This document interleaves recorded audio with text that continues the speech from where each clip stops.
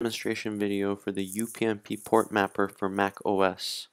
First, you can launch the UPnP port mapper app by downloading it from the App Store and then going to your applications menu and clicking on UPnP port mapper.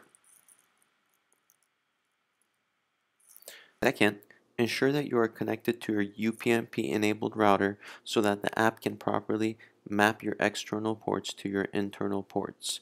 For example, if you were running a local web server on your computer, then you might map your external UPnP port for your router, port 8086 to internal port 8087 and then click add on the right side here. You can also specify a specific internal IP address that you want this new port mapping to apply to if it's different than this current computer's IP address that you're using the app on. You can also specify an optional description for this new port mapping so that it can help you later identify what this port mapping is being used for.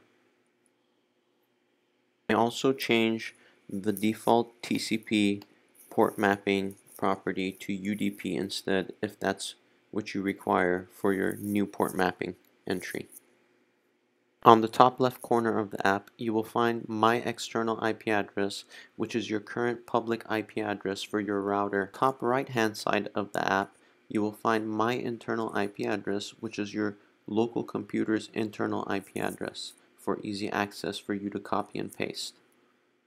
On your new port mapping entry, you will also find a automatic countdown timer duration for the auto renew feature, which basically automatically renews this port mapping rule on your router because others have a default expiration time of seven days, which is one week.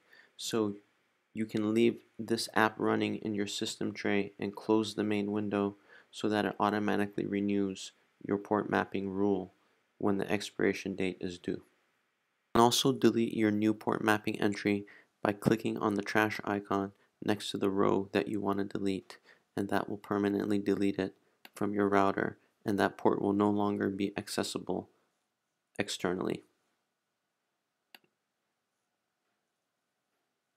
That's all. Congratulations, you have now mapped your first port mapping on your UPnP enabled router successfully.